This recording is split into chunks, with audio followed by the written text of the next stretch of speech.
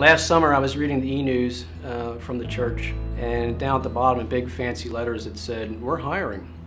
And beneath it the job description said, uh, manager of building and grounds. And I thought, hmm. So I clicked the link, open it up, I read the job description.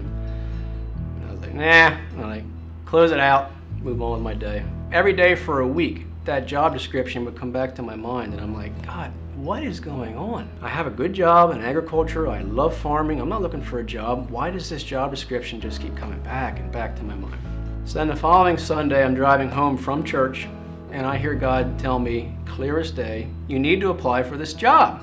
So I go home, I tell my wife, I'm like, look, God just told me this, I'm just going all in. So on a Sunday afternoon, I'm dusting off my resume, I'm writing a cover letter, I'm filling out the application, I mail in the packet.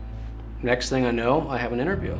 And then I have a second interview. During the interview process, um, both times, I did something that you never do during a job interview, whereas I flat out said, look, I'm here because the Lord told me to do this.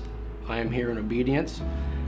I'm not saying I'm the most highly qualified. I guarantee you'll give you 110%. But the bottom line is if you interview somebody that's more qualified than I, I'm okay with that. And so those words just kind of just came out of my mouth. Like obviously that's not something you would normally say, but it's what I what's what I meant. I was acting in faith on what I believe God said to me, and I made myself vulnerable in that position. But I was also prepared, you know, to obviously not be accepted or chosen because of that vulnerable place I put myself in. But I knew that God is faithful, and if I was obedient to Him, um, He'd be faithful to me as well. So I accepted the position, and let me just say it is just an absolute pleasure and an honor to serve Ephrata Community Church uh, in the way that I do. God loves you, God cares about you, He has big plans for your life.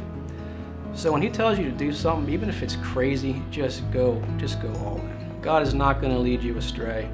And so even if it is crazy, um, you just you go all in. You step out in faith, knowing that God has steps laid before you. God knew your name before you were born. His path is set.